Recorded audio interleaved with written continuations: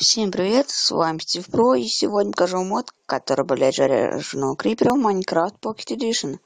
Ну, чтобы нам вызвать этого крипера, нам понадобится включить сложность на максимум и взять яйцо спавна крипера. После чего тапаем этим яйцом по любому блоку, и у нас появляется вот такой крипер.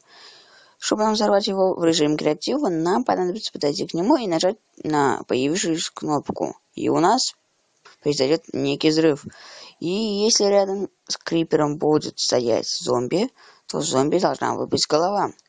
К сожалению, с него голова не выпала, возможно, он просто умер, но если будут, будут стоять очень много криперов, то с них тоже выпадет голова.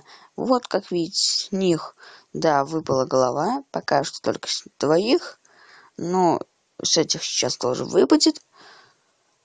Так, ну давайте попробуем еще несколько зомби. Вдруг это получится.